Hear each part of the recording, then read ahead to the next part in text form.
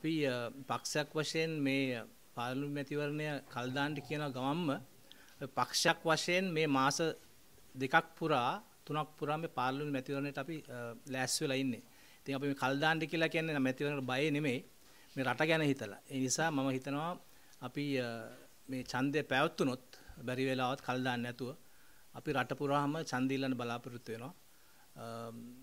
ඡන්ද කොටස් 22ෙම අපි ඉල්ලන්න බලාපොරොත්තු. ඒ හින්දා අපි කියන්න කැමතියි අපි කල් ඇතුව මේ වැතුන ලෑස්ති වුණා.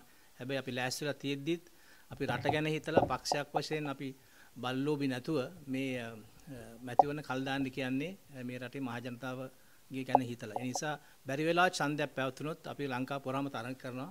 ජාතික සංවර්ධන පෙරමුණ පරණ පක්ෂයක් වශයෙන් අපි තරඟ කරන්න